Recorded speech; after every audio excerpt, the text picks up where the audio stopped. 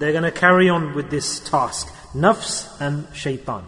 Desires, base desires, and shaitan. They don't just deviate you. They, they do a, a, a task, they implement a task which is more dangerous than that. More dangerous than taking you off the path. Now, this discussion that we're having, it's not a story and folk tales. This is islah, rectification, improvement. If something comes into mind, these are serious points that we're discussing. It's better that before death, I understand and you also understand. Allah Ta'ala is so merciful to every human being. Very merciful, extremely merciful. And Allah's mercy, we don't recognize Allah's mercy and His blessings. Me and you sitting here speaking like this, is this a minor thing? Sitting here and talking? to listen to these messages. Is this a minor thing? We'll realize on that day, at that time, how important this is when we have departed from this world. That's when we'll realize how important these messages are. Death will come, be too late. So think, brothers, think this is very serious. Sitting, standing, listening, Allah's shukr. We are sat with an objective, subhanAllah.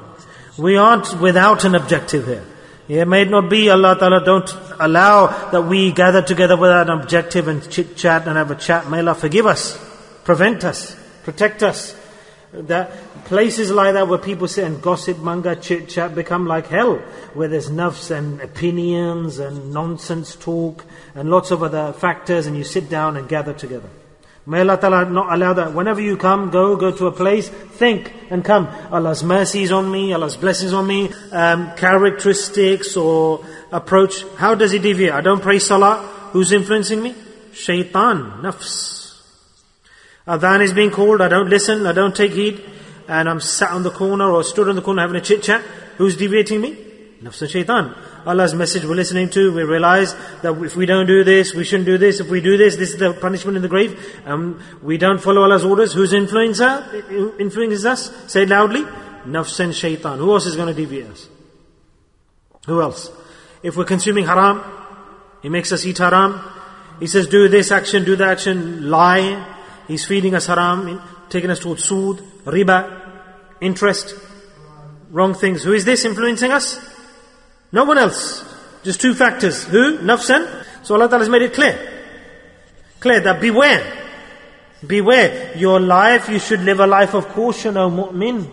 Not just freely moving where you want, coming, going, when you want, doing what you want. No. Every breath and footstep should be tread, trodden very carefully. Very carefully. You need to think about what you're doing. That's why I've told you, Allah Ta'ala says that these two are your affirmed, avowed enemies. They're your avowed enemies. Because Allah Ta'ala says, the person who's got wisdom, what will he do with the enemy? Say loudly. He will save himself from the enemy. Who? The person who's got akal, who's got wisdom, intellect. If I say, this person's your enemy, you say, is it? Oh, but uh, your, your enemy will loot you, hit you, beat you. If I've got akal, I won't even go near him, shake his hand. I'll try to save myself from him. Because I've been told that he's my enemy. And any time he may entrap me or finish me off. So will I not try to be away from the enemy? So my Mawla, our Lord has told us clearly in the Quran. Allah Ta'ala has defined to us clearly 100%. Nafs and shaitan are your enemies. Allah says, I'm telling you for this reason because you'll have akal. So you will then try to save yourself from these enemies. If you don't save yourself, then what will you become? You will become deviated, deceived. You will fall into their trap. If you don't save yourself from your enemy, then your enemy will beat you. He will kill you. He will steal from you, loot you. So we need to save ourselves. We can only be safe at that time when we save ourselves from them. When we um, enforce the security to protect us from them. Allah says, if you want to come to me full of security and protection and, and free from them, then Allah says, what do you need to do? You need to enforce the protection and security from the shaitan and nafs. Tell me how many brothers, how many people save themselves from nafs and shaitan? Do we think about this? Uh, we're just bopping around all brothers. This life is not just a waste of time. We need to understand the objective of life. We will be severely questioned in the hereafter. Severely questioned. And that's what Allah Ta'ala is trying to forcefully explain to us in some ways that these are your avowed enemies, they're dangerous for you. So why do you want me to be soft to you? When I told you clearly, Allah Ta'ala says, then why weren't you cautious? Why were you living the life of an animal? Is Allah Ta'ala not telling us today? Many times over. So if we want to be safe from these two enemies, nafs and shaitan, what do we need to do? We need to protect ourselves from these factors. And that person who will protect himself, save himself, he won't be deviated, he won't be deceived. Only that person. So only that person will be saved from nafs and shaitan who wants to be saved. Allah will say, Allah has told us, how can you be saved?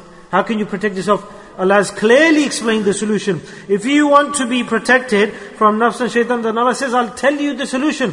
When I tell you the solution, the person who then tries to practice according to that solution, then that person saved. Say, Subhanallah, Subhanallah. End of story. Easy. Yeah? Clues come out. Clues come out. Nafs and shaitan, to be saved from them, there's one method. One method, my brothers. One method. Yes, that every person in the universe, the Holy Prophet, sallallahu wasallam, his sunnahs, his, the methods of his sunnahs, say subhanallah. Say again, subhanallah. That's the solution. There's only one way. Allah Ta'ala said, if you want to break nafs. If you want to break shaitan, you want to be protected from the trickery of shaitan nafs. There's only one method. What is that? Allah says, implement the methods of the sunnahs of my Habib. That's what Allah says, وَمَن يُطِلَّ فَقَدْ فَازَ فَوْزًا عَظِيمًا Whoever takes hold of my path and my Habib's path is successful. Why is he successful? Because nafs and shaitan deceived you, deviated you. They've passed if you follow them if you prostrate to shaitan and nafs, shaitan and nafs will say that he thought I was the Lord and he used to worship me and prostrate to me and bow to me and I was his destination and everything and follow the sunnahs, then you say la to everything else and you succeed. So there are two opposite ways. Allah Ta'ala says that successful is that person, فَقَدْ فَازَ فَوْزًا عَظِيمًا the person who's grabbed out of my orders and implemented the method of who? The sunnahs of my Habib sallallahu alayhi wasallam. فَقَدْ فَازَ فَوْزًا عَظِيمًا Then impossible, the question doesn't arise that he follows nafs and shaitan. But when his actions are all according to the sunnah, then nafs and shaitan cannot pollute his lifestyle and the topic. So we need to realize and learn today who am I? Who are we? Allah's Nabi said, if you want to know that am I a complete mu'min? Am I a Muslim, right or wrong, good or bad? What's the method? Not that, look, at salah, his ibadah, nothing else. Ajib, the line has gone to a different direction. If you want to realize, if you're a good mu'min, if I want to know, am I a complete mu'min, a good mu'min, then listen clearly. Listen carefully. The kamil, complete mu'min will be that person, kamil mu'min will be that person who people will say that they will entrust him with their, with what? Ajib, azim words. Those people, people in the dunya who will entrust him with their life and their wealth, they consider that they can entrust him with their life and with their wealth. What a great and beautiful hadith, subhanAllah. Kamil mu'min, the complete mu'min will be that person. Ibadah is not coming to this. Another point is coming in highest grade point is coming. The Kamil mu'min will be that person who people, people have come in. Which people? The non-believers, the believers, Muslims, everyone. Who people think that they can entrust him with their wealth and with their bodies. They think that he, they can entrust him. Subhanallah. In other words, when people consider me, when they say that this individual is such, that he will never speak bad about me that, that my body, my life, and my mal, I'm totally uh, at, at, uh, in the form of protection. Doesn't matter what type of person he is, from whichever religion he is, he trusts you that he can never give me loss. Yes, that he's halim, he's soft, he's tender, he's beautiful in his characteristics. Nabi al-Karim Sallallahu character was totally like this. You can see this. Subhanallah. His words, Subhanallah, he would speak and he would implement. Is this the case? That no non-believer could say that Rasulullah is this and this and this. Everyone had yaqeen that they accepted he was honest. And what did they, why did they not accept him? Because of nafs and shaitan.